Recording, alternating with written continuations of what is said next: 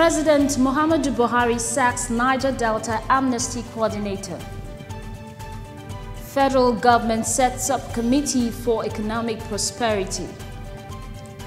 Senate urges federal government to declare state of emergency in health sector. Welcome to the PM News at this time on Television Nigerian. I am Eunice Johnson. President Muhammadu Buhari has relieved Brigadier General Paul Boroh of his position as the coordinator of the Presidential Amnesty Program for former Niger Delta militants and has approved the appointment of Professor Charles Dokubo as the new helmsman. Prior to this announcement, Professor Dokubo was the Director of Research and Studies at the Nigerian Institute of International Affairs and hails from Abonema Akukutoru local government of Rivers State. The president has further directed the National Security Advisor to carry out a full investigation into the activities of the amnesty program from 2015 till date, with a focus on allegations of financial impropriety and other acts that are allegedly detrimental to the objectives of the presidential amnesty program. In response to the need to vigorously pursue economic prosperity and social development in Nigeria, the federal government has inaugurated a five-member committee to ensure that financial services are delivered for economic prosperity.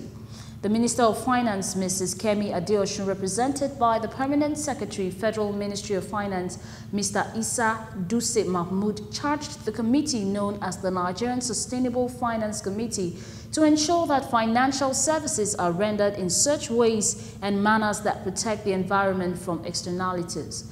Acknowledging the fact that Nigeria is endowed with abundant natural resources and human resources as well, which can be adequately and efficiently harnessed to strengthen public finance, the finance minister further implored the committee to take innovative and pragmatic steps to facilitate, encourage and support activities which would impact the nation economically and socially.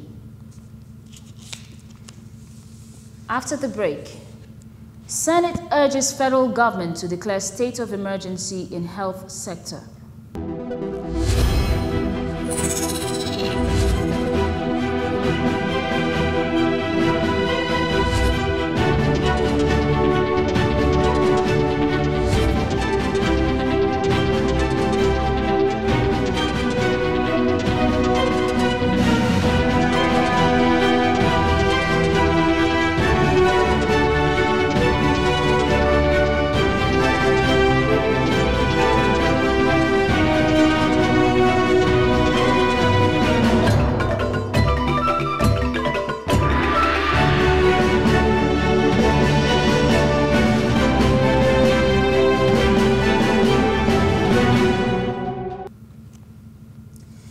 Thanks for staying tuned. The Nigerian Senate has urged the federal government to declare a state of emergency in the country's public health sector over decay of infrastructure. The Senate also urged the federal government to provide special funding for the overhaul of at least one public medical facility in each geopolitical zone in the country. The Senate, following a unanimous adoption of the motion moved by Senate Hunkuyi, resolved to ensure adequate funding for primary healthcare services in the country while working on the 2018 appropriation bill. And in sports, Manchester United has crashed out of the Champions League trophy chase as Wissam Ben Yedder struck twice in four second-half minutes to send Sevilla into the quarter-finals for the first time in 60 years with a stunning 2-1 win at the Old Trafford on Tuesday. Sevilla, who progresses into the quarter-final rounds by the same score on aggregate after a goalless first-leg draw, were deserving winners as they controlled the game throughout. Manchester United is leaving the competition along with Tottenham, while Premier League leaders Manchester City and Liverpool has progressed to Friday's quarter-final draw. And on the foreign scene, in an unprecedented fight against fake drugs in the West African region, a court in Cotonou, Benin Republic has jailed seven senior staff of pharmaceutical companies on charges of selling illicit drugs. The seven men work for wholesalers importing all kinds of medicines ranging from painkillers to anti-malaria drugs for sale in the Benin Republic region. They were jailed for four years and fined a total of 100 million CFA francs, equivalent of $190,000. Two other defendants were given six-month jail term sentences. Cotonou is one of West Africa's biggest ports and the country has been making efforts to launder the city's image as a crossroads for counterfeit goods.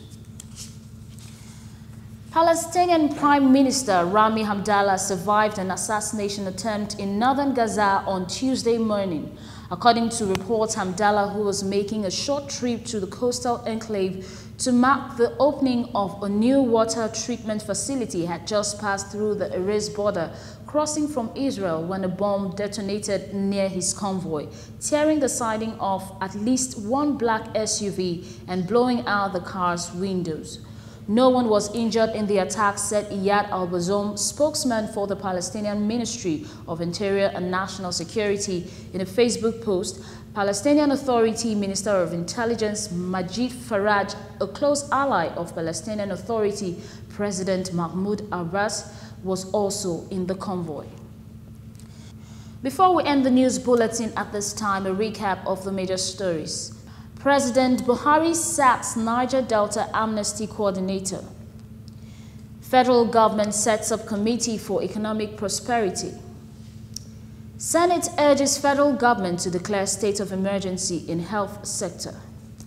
And that's the news ah, hour. But before we go, I leave you with this thought. A letter from the heart can mostly be read on the face. Thanks for staying tuned. I am Eunice Johnson. Bye for now.